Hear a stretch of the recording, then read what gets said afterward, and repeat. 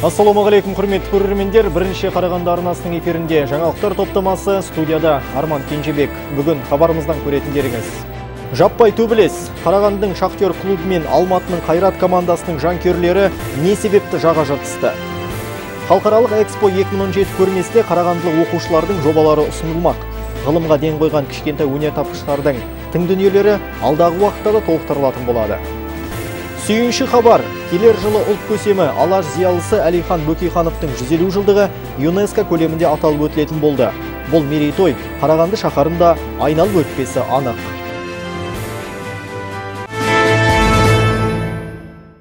Қарағандыда Шахтер және Қайрат командаларының жанкүйерлері жаппай төбелесті. 40 адамның текетіресі қаладағы Шахтер стадионының маңында болған. Полиция қызметкерлерінің мәліметінше қос команданың жанкүйерлері төбелестің күні мен жерін әлеуметтік желілер арқылы алдын ала жоспарлапты. Сөздерінше жаға жыртысқандардың 15-і тергеу изоляторына қамалды. Сондай-ақ бейресми ақмарат бойынша Асакаровка ауданында Қайрат футбол командасының жанкүйерлері бар автобус ұсталған. Қазіргі кезде төбелестің шығу себебі анықталып жатыр. Полиция қызметкерлері мен төбелеске қатысушылардың барлығы ұсталып, полиция бөліміне жеткізілді. Бүгінгі таңда аталған факты бойынша Қазақстан Республикасы қылмыстық кодексінің 293 бабы, яғни бұзақылық бойынша сотқа дейінгі тергеп тексеру амалдары жүргізілуде. Қарағандылық оқушылар халықаралық Экспо 2017 көрмесіне қатысады. Ерекше талантты жасөспірімдер халық назарына ұсынатын игі жобаларын дайындап та қойған. Бірі қоршаған ортаның тазалығын ойласа, енді бірі нұр сауықтыру кешенін тегін электр энергиясымен қамтамасыз етпек. Айбар Ахметов жетінші сыныптың оқушысы ғылымға өнер тапқыштыққа деген қызығушылығы жасөспірімді ерекше тың дүниелер жасауға жетелеген. Экспо 2017 халықаралық көрмесіне Айбар ерекше жобасын ұсынбақшы. Қала қонақтары мен тұрғындарына арналған сауықтыру кешенін тегін электр энергиясымен қамтамасыз етпек. Ал күн мен желден қуат алатын энергия тапшылығы бола қалған жағдайда оған магнит көмекке келмек. Төртінші сыныптан бастап қолға алынған бұл жұмыс алдағы уақытта толықтырылатын болады дейді жас өнертапқыш. Бұл жерге ә, табиғи нысандармен қатар ағаш тас бұлақ ә, ал ғимараттарға келетін болсақ бір шағын бірі үлкен ғимарат бар ол жерде шағын ғимарат билет алып отырады ал екі, екінші ол үлкен ғимарат Оқушылардан қолға алған тағы бір жобасы қоршаған ортаның тазалығына арналған. Қаланың 80 жылдық мерейтойына орай көмір кеніштеріне саяхат жасаған балғындарға ауаның ластануы ерекше ой тастаған. Менің ғылыми жобам тақырыбы қоршаған ортаны көмір шаңнан тазартатын алмалы салмалы фильтрдің макет процесі көмірді вагондарға арту кезінде көмірдің шаңы жан жаққа ұшып қоршаған ортаны ластайтын көрдім. Ол мені қатты ойландырды.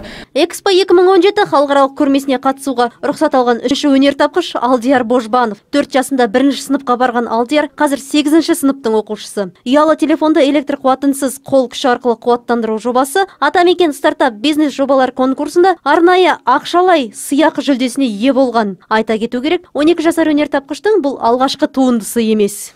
Мен өзімнің қолға алған жобаларымның барлығында халықаралық көрмеге ұсынбақпын. Болашақта қазақ елінің қазақстанның биік белестерге көтеріліп жаңа инновациялармен толыққанын қалаймын.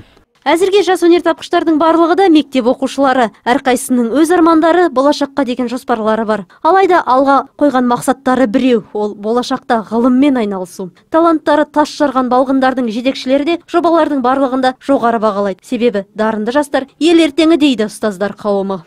Да, наверное, таких немного и в городе. Мұндай балалар қаламызда саусақпен санарлықтай ғана. Олардың қолға алған жобалары бүгін ғана туындап отырған дүние емес. Бастауыш сыныптан бастап ғылымға қызығушылықтарын танытып келеді. Бірнеше сайыстарға да қатысқан. Жобалары үнемі жүлделі орындарға ие болып жүр. Вундеркиндтер өз жобаларын алдағы уақытта Экспо 2017 көрмесіне ұсынатын болады. Оған дейін аталмыш жобаларды әлі де толықтыратын боламыз. Ең бастысы, біз жеткен жетістіктерімізбен тоқтап қалмаймыз, алға ұмтыламыз дейді. Меруерт балкиева жасұлан мақұлбеков бақтияр оспанов бірінші қарағанды телеарнасы Жас ұландықтарға ерлік сабағы оқылды. Чернобыль әскерінде ерлік көрсеткен Янис Дудоның батырлығы келеше ұрпаққа үлгі. Сондықтан да әскери бөлімге ардагер арнайы шақырылып, ұландардың патриоттық сезімін ояту мақсатында дәріс оқыды.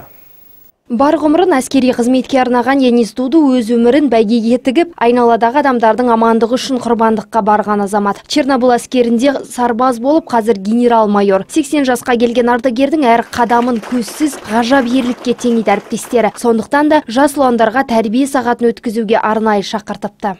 Быть верным и преданным. ең әуелі әр азамат патриот болу үшін еліне адал болу керек елін сүйіп оған қызмет жасауды ойлау керек. Мен қазақстан үшін жанымды аямаймын. Дүние жүзін дүрліктірген экстремистік террористік жағдайларда бетпе бет келе қалғанда баршамыз психологиялық моральдық тұрғыда дайын болуымыз керек деді ардагер. Ол үшін ең әуелі қайсарлық танытатындар ол әскери қызметкерлер. Еліміздің батырларын үлгі етсек олар да өздерін ерлік көрсетуге міндеттейді деген ниетте. Для меня герой мен талғат бегелдиновті үлгі етемін сол кісідей ерлік көрсеткім келеді. Бүгінгі шарада қайсарлық танытқан еліміздің көптеген батырларын біліп жатырмыз. Ерлік сабағын облыстық қорғаныс департаменті ұйымдастырыпты. Елім деп өжет қадамдарға бара білетін керек болса жанын да бере алатын ер ағаларының өнегесі бүгінгі жас ұрпаққа қажет дейді. Мына артымызда келатқан жасөспірім бұрынғы артымызда келатқан поколенияны әскери патриоттық тәрбиеге патриотизмге сана сезімін көтеру. Сонымен қатар сабақта ұлы отан соғысының ардагерлерінің ерлігі де елеусіз қалмады. Жиналғандар бейбіт аспанымызда батырларымызды ұлықтайық деп тарасты. Күләзия мейірханқызы олжас ғаппасов бақтияр оспанов бірінші қарағанды телеарнасы. Біздің арнамызда аздаған жарнамалық үзіліс арнамыздан алыстамаңыздар. Көрсетілім демеушісі Galaxy Group компаниясы алюгал галвин херкюль сауда белгілерімен. Галвин а классындағы телеселік жүйесі. Ұзақ мерзімділігі 60 жыл. Галвин профилі. Аязға төзімді сенімді берік сапаны бағалайтындар үшін.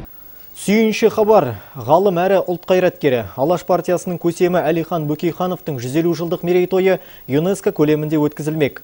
Келесі жылы ғалым қайраткер тұлғаның еңбектерін насихаттау жұмыстары туған өлкесі Қарағандыда да жүргізілмек. Бұған дейін ескерусіз қалған ұлт көсемінің бейнесі туған жерінде де ұлықталуы тиіс. Бөкейханов бүгінгі мемлекеттік құрылымның алғы шарттарын жасап ұлттық идеологияның қалыптасуының басында тұрған көшбасшы тұлға юнеско бас конференциясының 38 сессиясында 2016 жылы әлихан бөкейхановтың 150 жылдық мерейтойын атап өту туралы ұсыныс қабылданды. Аталмыш шараның әлемдік деңгейде өткізілуіне алаштанушы азаматтар мен сұлтанхан аққұлының еңбектері өлшеусіз.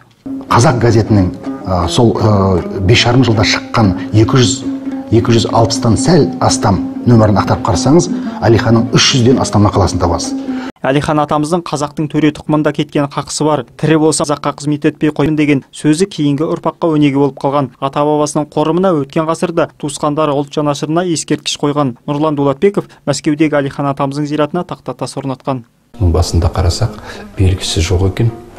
Содан кейін келіп осы қарағандыда бір үлкен шеберханада соның жаңағы белгісін жазып оған әлихан нұрмұхамедұлы бөкейханов туған жылы және қайтыс болған жылы сонымен қоса оның жанында жаңағы нығмет нұрмақовтың екеуінің суретін салып астына сол жылдары өзіміздің ақиық ақын қасым аманжоловтың жүз жылдық мерейтойы отырған сол кісінің ей тәкаппар дүние маған бір қарашы танимысың сен мені мен қазақтың баласы деген жыр жолдарын жаздық. Әлихан бөкейхановтың атында қарағандыда бір мектеп бар. Әлихан танушылар зерттеу жұмыстарын жүргізіп алаш көсемінің еңбектерін жарыққа шығаруда. Алайда ол кісі жайында ресейдің мұрағаттарынан деректер іздестірілу қажет. Бұрыннан көтеріліп өзекті мәселеге айналған қарағандыда бір көше немесе жоғарғы оқу орнына тіпті аудан атын беруге де болады дейді ғалымдар. Өскелең ұрпақты тәрбиелеу үшін сол жағынан беруімізге болады. Бірақ оны бір ғана көше емес мысалға мынау октябрь ауданын беріп жатса үлкен құба құп болатын еді. Ол аудан беріліп жатса ертең құжаттарда көрсетіледі басқа жерлерде көрсетіледі. Бұл кім екен деп танып біліп жатады. Әлихан нұрмұхамбетұлы наурыздың бесінде ақтоғай өңірінде туған. Бөкейханов түрлі саланы игерген әмбебап маман. Атап айтқанда агрономия мал шаруашылығы экономика тарих әдебиет журналистика және басқа да салаларда ғылыми еңбектер жазған ғалым. Әлихан бөкейхановтың мемлекеттік тәуелсіз мемлекетті қалыптасу жөніндегі еңбегі зерттеу керек. Өйткені оның еңбектерінің ішінде тәуелсіз мемлекет дегеніміз не? Тәуелсіз мемлекеттің экономикасы қандай болу керек? Тәуелсіз мемлекеттің тұлғасы қандай болу керек? Оның басында отыратын адам қандай болу керек? Мемлекеттік жаңағы система құрылымның бәрін әлихан бөкейхан еңбектерінде жазып кеткен. Қайраткердің алғашқы қазақ газетін ашып халықтың санасын жаңғыртуға тырысқан еңбегінің өзі үлкен дүние. Оқу ағарту жүйесінде де ғалымның тың ұсыныстары әлі күнге маңызын жойған жоқ. Бүгінде диқан қамзабеков сұлтанхан аққұлұлы басқа да зерттеушілер әлихан тануда елеулі еңбек атқаруда. Жаңабек наров олжас ғаббасов бақтияр оспанов бірінші қарағанды телеарнасы. Қаламызда өткен «Звездный листопад» атты республикалық байқау мәресіне жетті. Онда еліміздің әр түпкірінен домбыра мен қобызын құшақтаған таланттар өз өнерлерін ортаға салды. Сонымен бірге жарымжан балалар да қоғамға етене араласып, ән күй жарысында өз дүниелерін көрсетті.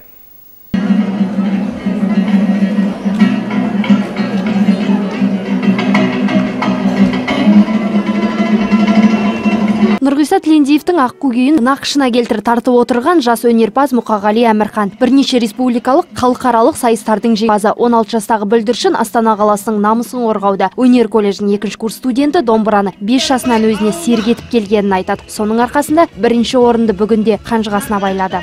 Домбырада ерте жасымда ойнап келе жатырмын. Жетінші сыныпта астанада қазақ ұлттық өнер университетіне оқуға түстім. Сайысқа мен үшін қатысу қатты қиындық соққан жоқ. Ал эльмира әуелбекова бірнеше әннің авторы жасы 23-тегі бойжеткен зағиптарға арналған мектептің түлегі. Оның аты ғаламторға кеңінен таралған. История любви атты әніне тіпті бейнебаян түсіріліпті. Бұл арудың да жеңістен дәмесі бар. Тума талант орындаған әннің әуенін де сөзін де өзі жазған. Қатысушылардың барлығы мықты. Кейбірімен тіпті бірнеше байқауда сынға түстік. Әрқайсысының өзіндік дарыны бар. Бірақ жеңеріме күмәнім жоқ. Звездный листопад республикалық байқауына еліміздің әр өңірінен отызға тарта үміткер қатысты. 5 жастан 16 жас аралығындағы дарындылар домбыра мен қобызда ойнап эстрадаға да шолу жасады. Жарыстың басты ерекшелігі мұнда өнерге жақын жарымжан балалар да өз қабілеттерін сынап көруге мүмкіндік алды. С ограниченными возможностями. Елімізде мүмкіндігі шектеулі жастар көп олардың таланттары көбіне еленбейді. Сахнаны армандаған бүлдіршін көп соларға бұл үлкен мүмкіндік. Үш күнге созылған байқауда қатысушыларға сегіз әділғазы баға беріп мықтыларына кубоктар табысталды ал қатысушылар осындай сайыстар көп болса деп тарасты гүлназия мейірханқызы жасұлан мақұлбеков бақтияр оспанов бірінші қарағанды телеарнасы Қаламызда алғаш рет кең көлемде қайырымдылық бал маскарад өтпек. Игілігі мол шараны белсенді студент жастар қолға алған. Сауық кешенінен жиналған қаржы астыраушынан айырылған жетімдерге үлестірілетін болады. Ұйымдастырушылар аталмыш кештің алғашқы үміткерлерін іріктеді. Раз, два, три и раз, два, три. Раз, два, три. Биге деген икемділігін қазылар алқасы алдында байқата білген руслан бал маскарадына қатысуға мүмкіндік алды. Алдағы бір ай бойы ол арнайы дайындықтан өтеді. Аталған қайырымдылық шарасы туралы қатысушы өз досынан естіпті. Жақсылық жасауды әдетіне айналдырған ол мұндай көлемді бастамаға бірінші рет қатысып отыр және қайырлы іс жалғасын таба берсе деген тілегі бар. Бұл өте жақсы бастама. қарағандыда дәл осындай шара ұйымдастырылып жатқанына ризамын. көмектескім келеді. Іс аяқсыз қалмас екен деймін. жақсылықты көбірек жасау керек. Қайырымдылық кешті хоуп қайырымдылық қозғалысы қолға алып отыр. Қаламыздың белсенді студенттерінен құралған топ бұған дейін де балалар үйлерінде кештер өткізіп көмек көрсетіп келеді. 19 баланың басын құраған ұйымның көлемді жұмысы бұл. 18-25 жас аралығындағы жастар діріктейтін балға қатысу үшін бойларына да назар аударылады. Яғни қыздар үшін 160 сантиметр болса ұлдарға 170 сантиметрден кем болмауы тиіс. Балалар үйіне қарағандының бүкіл балалар үйіне іс шапармен сапармен солай шығып оларға да бір басқа бір студенттер өзінің қаламыздың студенттерімен ақылдаса отырып оларға көмек ретінде бір шағын концерттер ретінде ұйымдастырып отырғанбыз. Енді нұр отанның көмегімен осындай үлкен мерей шараны ұйымдастыруға бізге мүмкіндік түсті.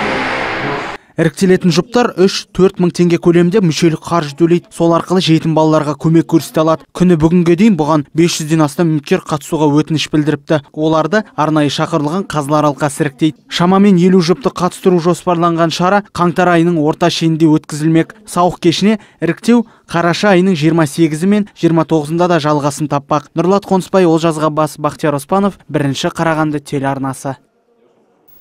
Танымал универ телехикаясының бас кейіпкерлері қаламызда қонақта. Аталмыш ситкомда басты рөлді сомдайтын Станислав Ярушин Қазақстанды киноға қатысуға құлшыныс білдіріп отыр.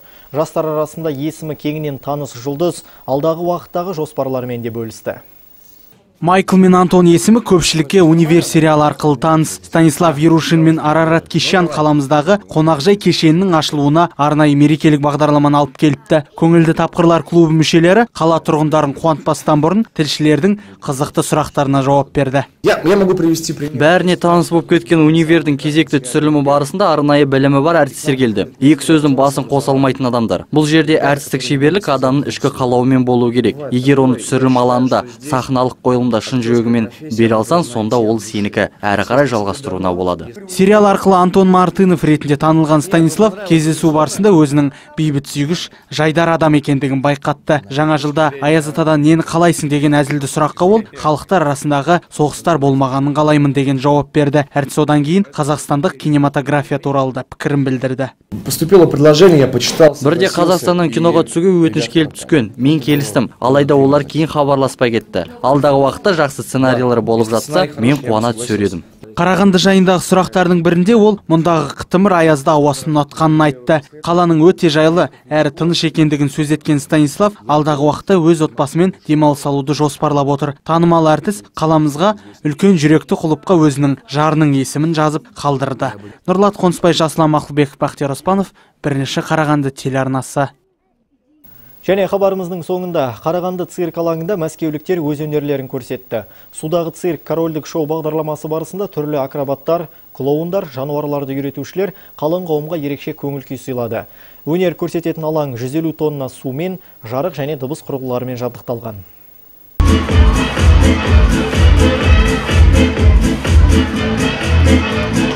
Бұл жолы цирк аренасы қалыптан өзгеше болды. Олай деуге негіз жоқ емес. Қарағандылық көрермендердің назарына әдеттегі алаң емес, бассейн ұсынылды. Екі бөлімді бағдарламаның бірінші кезегінде әуе гимнастары шырқау биікте шіркөбелек айналса, жонглерлер отпен ойнады. Судағы қолтырауын мен клоундардың әпенділік әрекеттері еріксіз езу тарттырды. Ал алып қолтырауын айқас қызыққа қызық қосты. Алғашқы бөлімнен ақ әсерге бөленген бүлдіршіндер ойларымен бөліскенше асықты. маған қатты ұнады цирк бүгін ең қатты ұнағаны маған анау балуандар ағашты көтергені. Маған ұнады ол жақта әртүрлі клоундар маған там әртүрлі болды қызықты болды маған. Ә, маған суда жапырақтар былай жүзіп жүрген ұнады. Неге? Өйткені олар өте әдемі болды. Екінші бөлімнің шымылдығын ашқан мына акробаттар да қазір ешбір тіреусіз жерден 25-30 метр биіктікте өнер көрсетіп жатыр. Кез келген оқыс қимыл олардың өміріне қауіпті. Дегенмен де жаттыққан әртістер жіңішке арқанда өздерін жерде жүргендей сезінуде.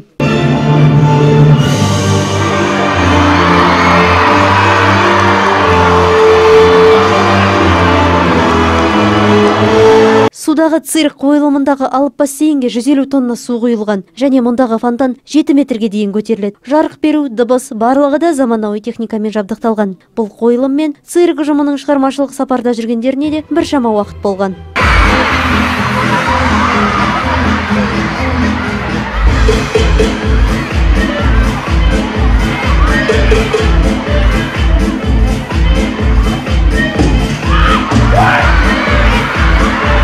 Сценка шимпанзе.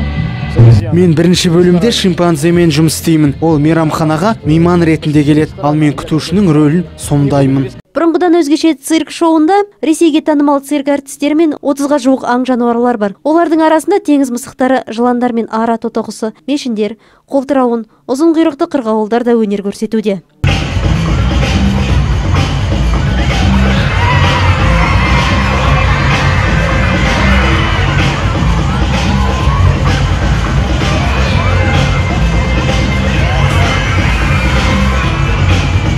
Жалт жалт еткен от шашулар ойламаған жерден жасалынатын әртүрлі трюктер су ішіндегі бишілердің қимылы құстар мен жануарлар өнері көрерменді бейжай қалдырмайды. Ал бұл екі жігіттің өнері тіпті керемет. Әрқайсысы бірнеше келі болатын 5 метрлік ағашты шыр айналдырып жатқан руслан мен дмитрийдің дуэттік қойылымы көрермендердің пікірінше рекордтар кітабына енуі де мүмкін.